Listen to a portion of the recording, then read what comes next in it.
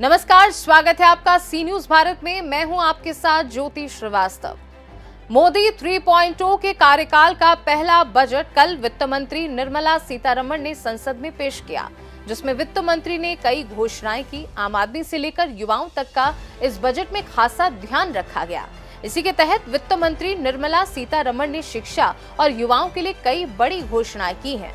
अपने बजट भाषण में उन्होंने नौकरियों और स्किल से जुड़ी पाँच पीएम पैकेज स्कीम का ज़िक्र किया है।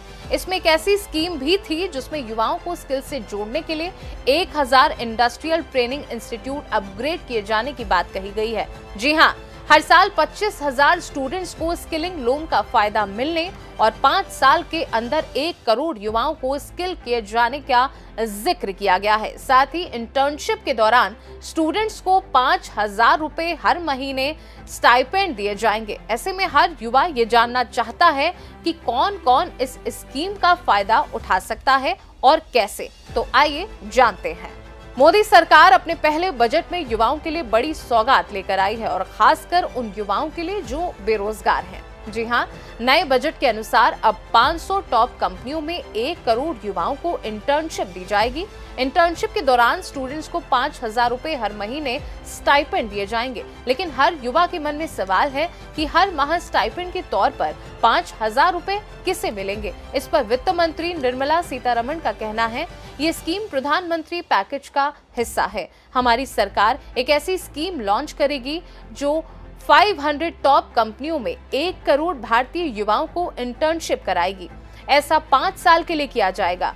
ये युवा 12 महीनों तक वहाँ के माहौल में रहकर अनुभव को बढ़ाएँगे और खुद को भविष्य के लिए तैयार करेंगे। इन्हें हर महीने में पाँच हज़ार रूपए इंटर्नशिप अलाउंस के तौर पर दिए जाएँगे। इसके अलावा छह हज़ार रूपए भी वन टाइम असिस्टेंस अलाउंस भी दिए जाएँगे। इसका फ़ायदा उन स्टूडेंट्स को मिलेगा जो पढ़ाई के दौरान या पढ़ाई खत्म करने के बाद इंटर्नशिप करके किसी फ़ील्ड में करियर बनाना चाहते हैं। इसके लिए उनकी उम्र 21 से 24 साल के बीच होनी चाहिए। इसके लिए उन्हें मौका मिलेगा जिन्हें अब तक नौकरी नहीं मिली है और न ही फुल टाइम पढ़ाई कर रहे हैं। इतना ही नहीं ट्रेनिंग में होने वाला खर्च कंपनी उठाएगी। इसके अलावा इंटर्नशिप कॉस्ट का 10 फ़ीसदी हिस्सा कंपनी के सीएसआर फंड से लिया जाएगा। ज़ाहिर है देश में बेरोजगारी की दर तेज़ी से बढ़ी है।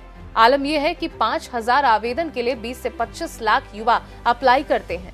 लाखों युवाओं के पास डिग्री और योग्यता होने के बाद भी वो बेरोजगार हैं, जो देश के भविष्य के लिए चिंता का विषय है।